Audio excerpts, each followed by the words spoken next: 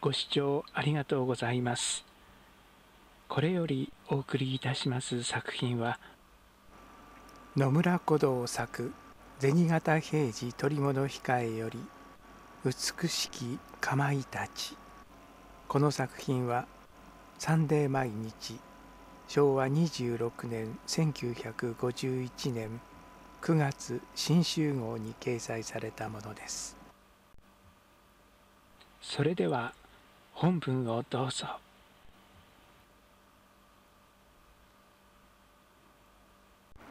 第一章。いやもう驚いたの驚かねえの八五郎がやってきたのは彼岸過ぎのある日の夕方。相変わらず明神下の路地いっぱいに張り上げて走りのニュースを響かせるのでした。何を騒ぐんだドブ板の陰からでっけえミミズでも這い出したというのか？平次は昼寝の枕にしていた。三世草大雑書を押しのけると武将タバコのキセルを取り上げます。そんな間抜けな底辺じゃありませんよいきなり頭の上から綺麗な心臓が降ってきたらどうします親分がへえ不思議な天気だね。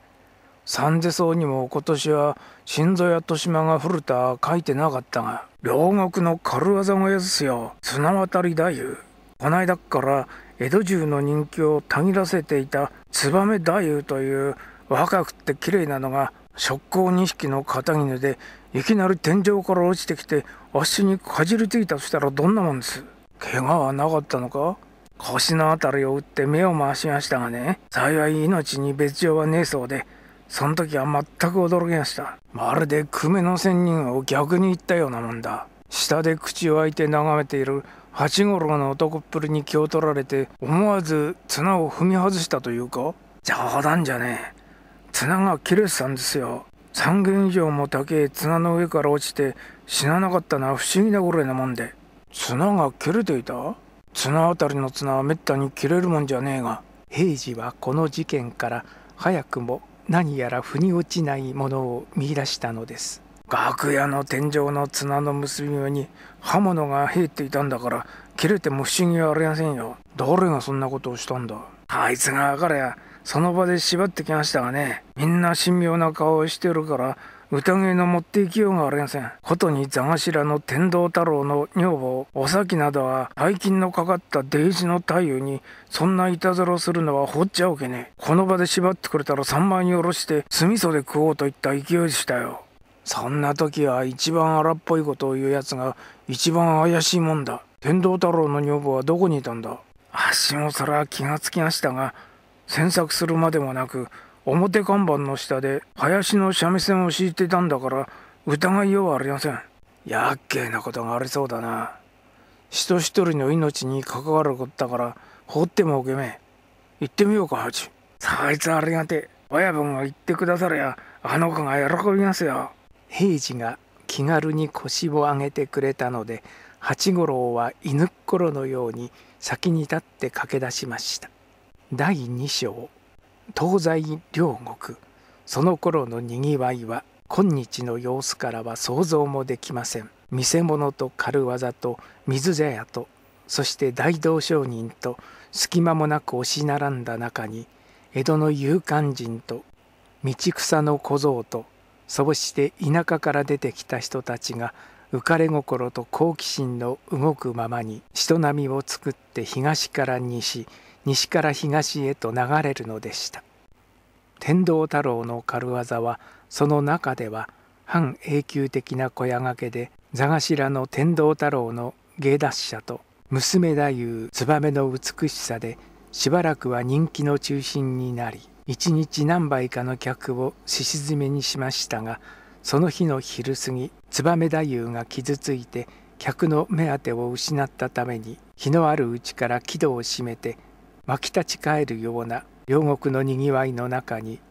ひっそりとして静まり返っておりました。裏へ回って戸を叩くと「えどなた?」まだ外は裏明るいのに少し迷惑そうに中から開けてくれたのは一座の矢田八。工場も言えば前芸もやる貧乏くさいが重宝な三重男です。銭形の親分だよ。ツバメが落ちたのを調べに来てくださったんだ。蜂が恩に着せます。つい裏に親方の家があります。ここは足と久兵衛だけで。その久兵衛というのは塩辛声の木戸番で二十五六の真っ黒な男。煮しめていぶして塩を効かせたような顔を小柄な矢田八の後ろから見越入道みたいにぬっと出します。矢田八に案内されていくと小屋と背中合わせになった二軒長屋の一つが座頭の天童太郎夫婦と林方で下女も兼ねているお幾の住んでいるうち壁隣のうちは娘太夫の燕とその母親のお高と燕の弟の与吉の3人が住んでいる家。母親のお高は楽屋の雑用をやっている378の女ですが昔は天童太郎の師匠でこの一座を背負って立った元の座頭久米の千八の女房で女の曲芸師としてその美しさを鳴らしましたが亭主の千八の死んだ後は進んで楽屋の雑用を引き受け近頃ぐんぐん人気の出てきた娘の燕太夫の貢献をしているということでした。平次はまず二軒長屋の右の方お高燕親子の家を訪ねました。いそいそと迎えてくれたお高は娘の怪我にすっかり面食らったものか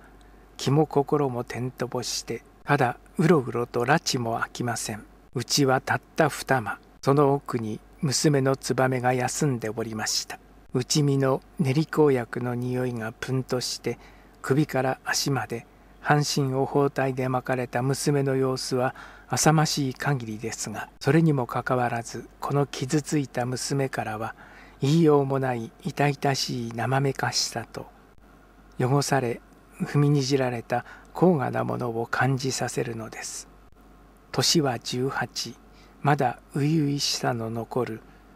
下っ膨れの可愛らしさも全身の痛みに歪んで見えますが背はやや高い方。おしろいは襟に残って口紅の消えた唇は青く見えるのも気の毒でした。どうだ気分は？平次はそっと娘に遠くから声をかけました。夕明かりが障子に残って日本刀身の暗鈍が薄暗く見える中に娘は辛くも顔をねじ向けて臆病らしく瞬くのです。銭形の親分さんだよお前。母親のお高は娘の寝返りを手伝いながら耳に口を寄せてささやくのでした。378といっても初代の疲れで老けては見えますがこの娘の母親らしく昔は佐渡と思わせる器量。貧苦も奪いきれない底光のする美しさが残って妙に心を打つものがあります。おかげさまで娘燕の口はわずかに動いたようです。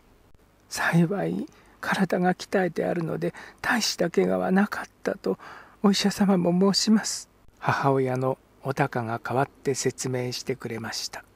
そらよかったね。ところで綱が切れていたそうじゃねえか。誰がそんなひでえこといいえ弾みでございます。長い間使った朝縄で傷んでいたのでございましょう。母親のお高は真剣に娘の怪我を過失にしてしまいたい様子です。誰かおめえを恨んでいるものはなかったのかな？とんでもない。娘を恨むものなんかまだこんな子供ですもの。母親は娘の包帯だらけの首を抱き上げて頬ずりでもしたいような様子で平次の疑いに抗議するのでした。こういった母親の口から何にも引き出せそうもないことは平次にもよくわかります。ハチ隣の天童太郎のところへ行ってみようか。平次は諦めてしまいました。デイジにするがいいよ。内見は後がデイジだと言うから。そんなことを言って外へ踏み出した平次は薄暗くなった外で指をくわえてぼんやり立っている8つか9つの男の子に会いました。この子は燕の弟の与吉ですよ。9つだそうで。体は相当ですが知恵は少し遅い方で。八五郎がずけずけこんなことを言うのを少年与吉は大して気にする様子もなく指をくわえたまま黙って二人を見つめております。顔立ちは姉や母親に似て悪くない小柄ですが釘が一本足りないらしくどことなく締まりのないのも気の毒です。第三章天道太郎は晩酌を始めていた様子でしたが杯を羽織るように慌ただしく迎えてくれました。銭形の親分さんとんだお手数をかけます。誰かのろくでもねえいたずらでしょうが何大したことじゃございません。そんなことを言いながら手を取るように平次と八五郎を迎え入れます。壁隣の二軒長屋といってもこちらは建て増しして部屋の数も多く調度も立派でなんとなく豊かに見えるのも勢力からも金からも見放された先代の座頭久米の先八と今を人気の上り坂にいる今の座頭天道太郎との栄子の違いを見せつけられるようでまことに否心持ちになります。まあ親分さん方何がなくとも一つ召し上がってください。急のことでしたくもありませんが女房のお咲は慌てて新しい膳を出したり杯を並べて銅庫に触ってみたり一人で気をもんでいる様子です。亭主の天道太郎は四十前後の立派な男で背は低い方ですが顔立ちも精悍で筋骨のたくましさはさすがに多年の鍛えを思わせます。構わねえでくれ。少し話を聞くだけ残ったから。でもまあ一つ召し上がってから本当に何という悪いやつでしょう。あんなひどいいたずらなんかしてツバメは人気が大変ですからいずれそれを妬む者の仕業でしょうが。そういうお咲は四十二三亭主の天道太郎を差し置いてまくし立てるのです。よく脂の乗った中年の女らしい作り愛嬌本流のような多弁ことごとく相手を辟易させますが本人はそれが得意で自分のような才女で人気者は広い江戸にもたくさんはないだろうと思い込んでいる様子です。ま待ってくれ。妬むといったところで一座には他に女芸人もねえ様子だ。外から小屋の中へ潜り込んで楽屋の天井裏の綱を切る隙でもあるというのか？平次はともかくこの女の饒舌にブレーキをかけました。とんでもない。木戸から楽屋へは人目が多くて来られません。裏口はお高さんが燕の弟の与吉と一緒に頑張っているはずで天道太郎は慌てて口を入れます。すると一座の者の仕業ということになるがそれがどうしても思い当たらないのです。おいくは女房と一緒に囃し方をやっておりましたし久兵衛は木戸口を動かないはずですし宿八は舞台の隅で何か工場を行っておりました。親方足や木戸の上のちょうど綱を切られた方とはあべこべの揚げ幕からそれを見ておりました。燕が綱を渡りきって舞台に降りると今度は足が綱の上へ出てモノマネの道化をやることになっておりました。できっかけを待っていたんです。林が変わると足の出番で。平次はこの説明を聞きながら何やら考え込んでおります。燕はあの器量だからさぞ若い男から騒がれるこったろうな。それが不思議で18といえばもう一人前の娘盛りなのにあの子ばかりは一向取り合う様子もございません。小屋の客の中にもあの子を目当てに毎日毎日見える人も3人や5人でなく手紙をくれたり物を届けたりする男もありますがあの子と吉は振り向いてみようともしません。女房のお咲が変わってまた喋り始めました。全く止めどもない下の動きです。一座の中では？人気者でございますよ。でも男気といっては工場の矢田八と木戸番の久兵衛だけでその二人のうち特に燕に気のある男がいるだろう。若い久兵衛は道楽者で小娘などには手もくれませんが工場の矢田八は燕に夢中なようで最も夢中だと言ってももう30ですから無法なことをするはずもなくそれにあの時はちょうど舞台で工場を行っておりました。